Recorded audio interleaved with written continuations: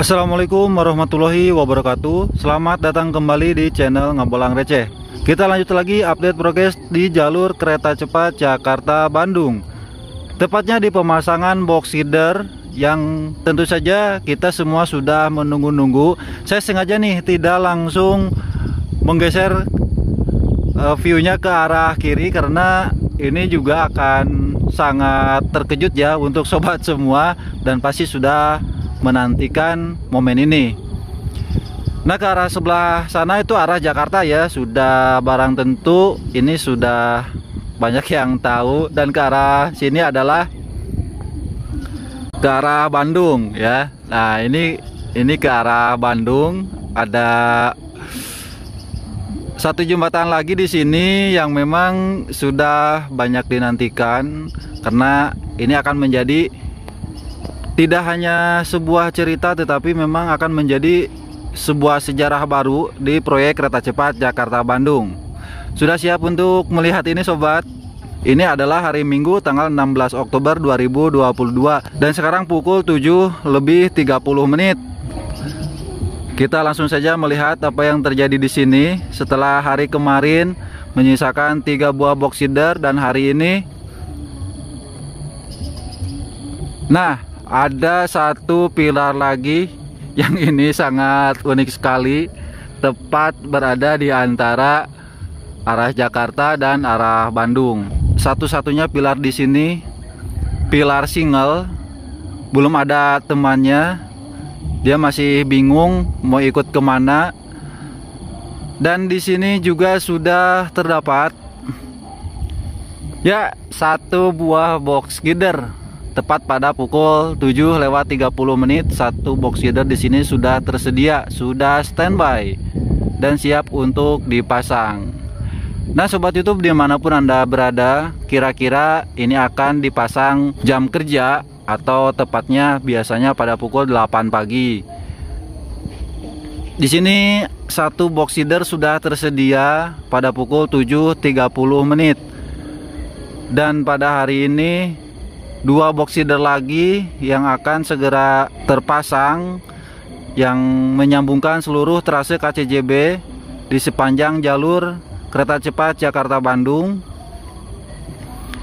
dan akan menyisakan satu buah box feeder lagi. Dan ini paling ditunggu oleh sobat YouTube semua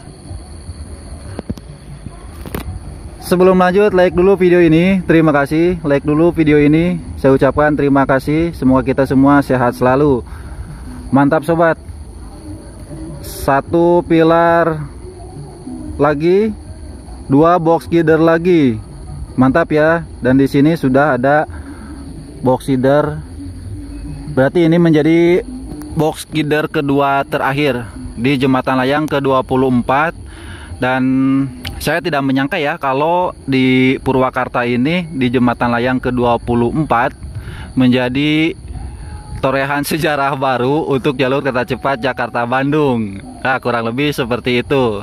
Nah, karena saya pribadi sangat terkejut kalau ini akhirnya selesai paling tidak untuk trase KCJB sepanjang 142 km karena tahapan berikutnya itu lebih mungkin bisa dikatakan lebih mudah dikerjakan pemasangan rel dan aksesoris yang lainnya sehingga tidak akan lama lagi Indonesia akan mewujudkan apa yang dimimpikan. Kurang lebih seperti itu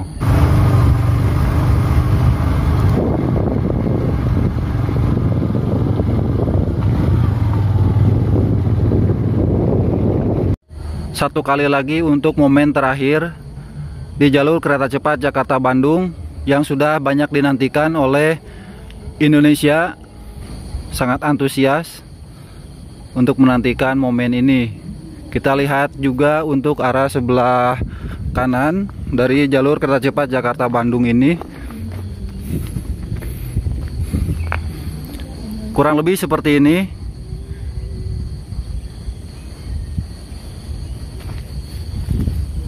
dan ini ke arah Jakarta masih pagi masih cerah dan di sana mataharinya sudah mulai meninggi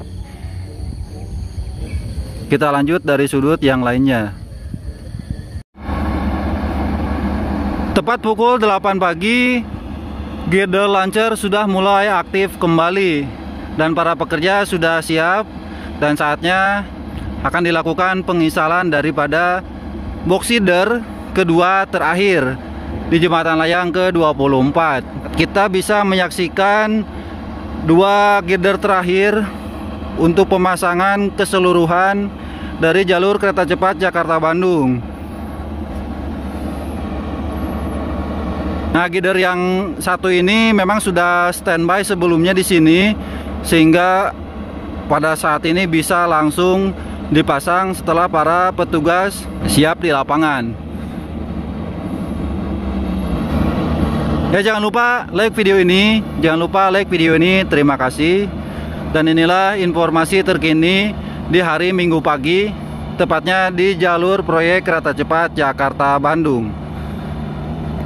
Untuk video berikutnya kita akan ke pemasangan box leader kedua terakhir Ini adalah video request para pecinta proyek kereta cepat Jakarta Bandung Yang terus mengikuti perkembangan hingga saat ini Terima kasih sudah menonton. Sampai jumpa di video berikutnya. Jangan lupa untuk like video ini. Dan super thanks bagi sobat youtube di mana pun anda berada Yang ingin mendukung penuh channel Ngabolang Receh. Sampai jumpa di video berikutnya. Wassalamualaikum warahmatullahi wabarakatuh. Bye bye.